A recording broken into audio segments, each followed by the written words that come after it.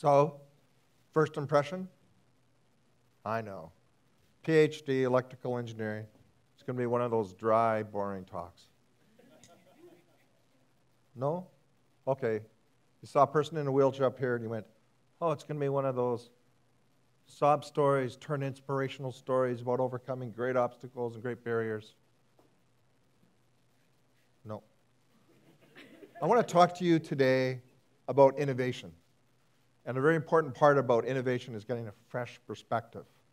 And specifically today, I want to talk to you about a secret on how to get a new perspective. I had a real dramatic shift point in my life back when I was 17. It was back in 1975. I don't recommend this for everyone, but I got in a car accident. My parents were moving from Calgary to the West Coast, and I was driving the family car. And after we'd been driving for quite a while, we got to the summit of Rogers Pass. We took a break there. I got out of the car and I was running to the washroom. And I just finished a year of high school sports, and I was amazed at how powerful and fast I was running. But it was interesting because that was the last memory I had. I didn't know it then, but that was my last specific memory of being a physical, able bodied person. A little while later, I was driving again in the afternoon. I fell asleep. The car ended up side down in a ditch.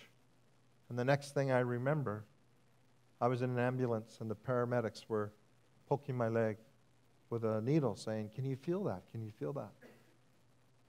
And I said, No, I don't feel anything. I knew that wasn't good. And it dawned on me that I was paralyzed in the legs, I was paralyzed in my trunk from here down. I couldn't move my fingers, I couldn't move my hands, I could barely move my arms. Yeah, I was a quadriplegic. So, why did I tell that dramatic story? Because let me tell you, it sure changed my perspective on a lot of things.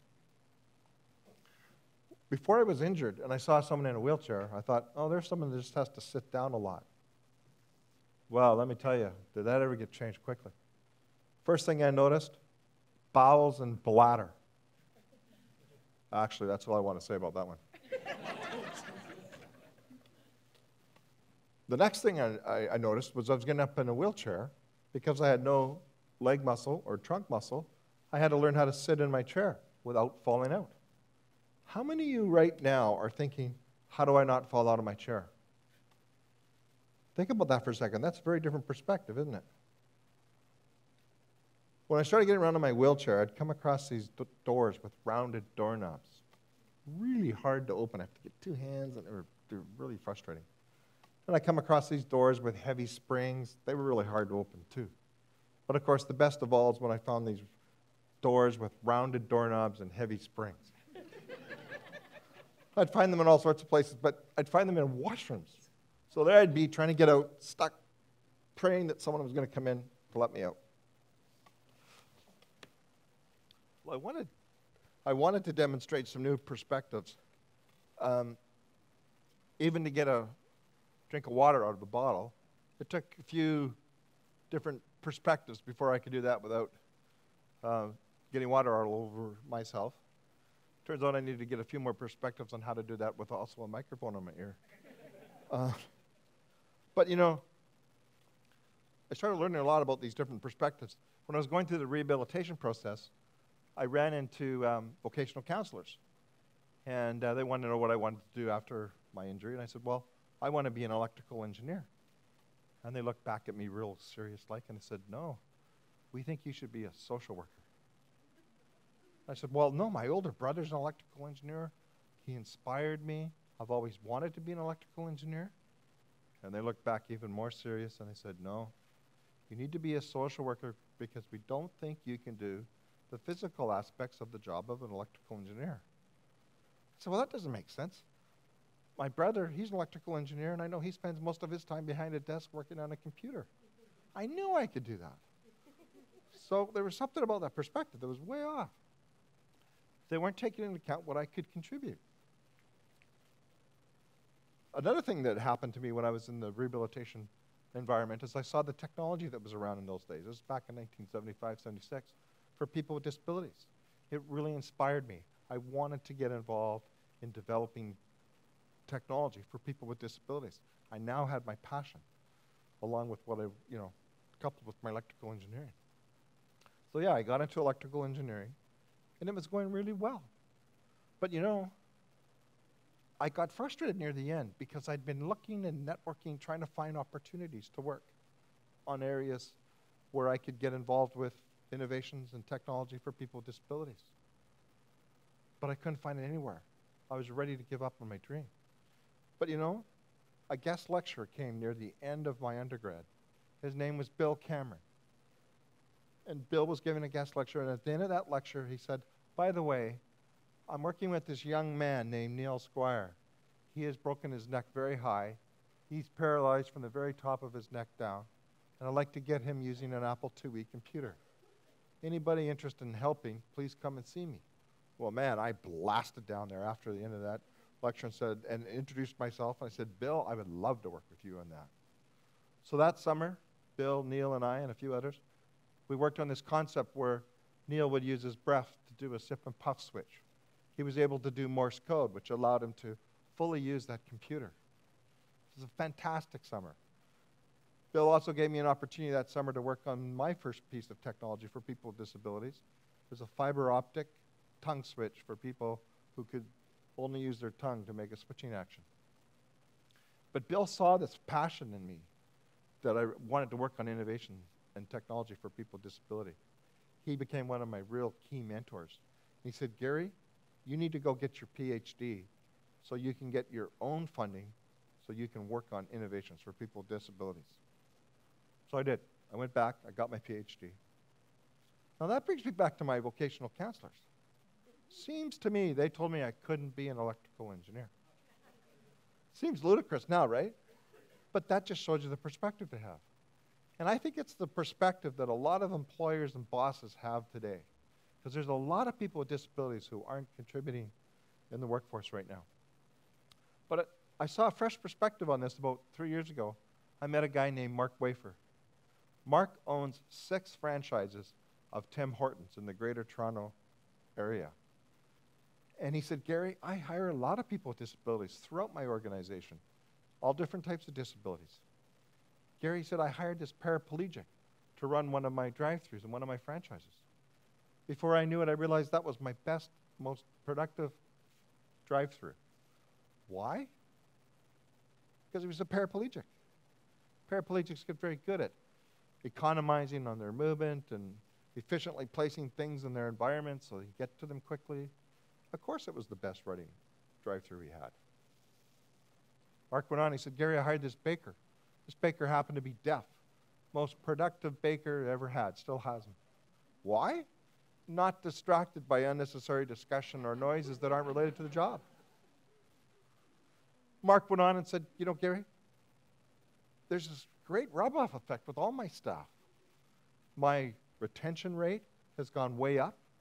Really important in anybody's business, but particularly in a business like Mark's. Absenteeism had fallen way off, way down. Employee engagement was way up. Innovation was up. Productivity was up. He said, Gary, I don't hire people with disabilities because it's the right thing to do or the charitable thing to do. I do it because it's great for business. And I'll tell you right now, he's killing his competition. So when I think of that, and I think about right now in Canada, the unemployment rate, when you include those people with disabilities who have um, given up trying to find work, is over 50% in Canada right now, which means there's over a million working age Canadians that aren't working. It just doesn't make any sense to me. That's a lot of Canadians who aren't contributing to our workforce and a lot of really valuable perspective sitting there wasted on the shelf. You know, people talk about this impending labor shortage. Well, I think if you shift your thinking a little bit, adapt your thinking, change your perspective, you'll see that there's no impending labor shortage. There's just a lot of people out there that haven't been tapped yet. But people with disabilities are a lot more than just great employees. They've inspired or been part of and uh, innovating some of amazing technologies and things that have benefited us all. When I first started getting around in my wheelchair back in 1976, curb cuts were just becoming common, and that's those ramp down sections of a curb where you can roll down and then get back up on the other side. And mothers pushing strollers would come up to me and say, These are fantastic. I'm sure glad they're putting them in for you. And that was the first little hint I got that, you know, what's good for me might be good for others as well. There's a lot of examples like that. You know, when you're in a noisy bar or a noisy restaurant and the TV's going and you're trying to follow what's going, and the words are conveniently displayed for you at the bottom so you can follow what's going on? No, not invented for noisy environments. Of course, it's closed captioning for the deaf. You know, the typewriter, most, most of you know what a typewriter is, I think. Um, that was invented by an Italian because he had a blind lover and he wanted to be able to read legibly her love notes. So he invented the typewriter. Now that's love Italian style. you know, the microphone, the telephone, many others were invented by Alexander Graham Bell during his passion to develop technology for the deaf. The key, the key card punch system was originally developed by a person with a learning disability to deal with the challenge of the growing numbers of people to count in the U.S. Census. That worked out real well. Managed to turn that into a company that some of you might know now as IBM. Um, it goes on. Uh, ARPANET, the forerunner to the internet. One of the key developers of that was deaf. And his wife, sorry, he was hard of hearing, and his wife was deaf. And he made sure that you could send text messages across the beginning of email. Speech recognition, largely invented for people who have trouble entering text into a keyboard. The optical character recognition on a flatbed scanner, originally developed for the blind so they could scan text and have it read aloud to them synthetically. It goes on and on. Vibrating pagers, vibrating phones, originally developed for the hard of hearing. You know, word prediction, you're all using it right now, texting out what a fantastic talk this is. well, that word prediction was originally developed for people who were very, because of their disability, were very slow at entering text. So you can see that people with disabilities have either inspired or been part of developing some amazing innovations that have benefited many of us. But there's still, of course, a lot of innovation to go. Something that I got quite involved with and is still going on is brain computer interface. That's when you measure a signal from the brain and use those signals to control devices like a computer or something else. Imagine how important that would be for someone with a very severe disability. But also think of pilots and surgeons if their hands are busy and they still need to control things great, great other applications. There's lots of applications in the area of uh, gaming. But you know, when I got to work in that area, I brought a new perspective. And it seemed obvious to me, and, but it was a very important contribution that I made to the area of brain, brain computer interface. Now, brain computer interface isn't quite ready yet. It still needs more innovation before it's ready to be used on a day to day basis. So, some of you may want to jump in and, and do some of that innovation around brain computer interface. But if you don't want to start there, just want to bring you back to the perspectives you get with the simple things. I want to bring us back to those rounded doorknobs. Because I'm still running into those damn doors with rounded doorknobs and heavy springs. So maybe someone here can invent a door that would meet whatever building code it has to meet. Doesn't require one of those very expensive door openers. It's just easy to use. I'll thank you. Parents carrying children will thank you. People with wet hands will thank you. People with arthritis will thank you. Goes on and on. So I hope today I've been able to give you a new perspective on how to get a new perspective. And I actually gave you an idea. Because if you pursue it, who knows? An easy to open door might actually catch on. you know, if you want more ideas, well, you know what you need now, right? A fresh perspective. How do you do that? Hire someone with a disability. If you're not sure how to do that, Come and see me. I work for the Neil Squire Society. I'll hook you up. There's plenty out there. Thanks for listening.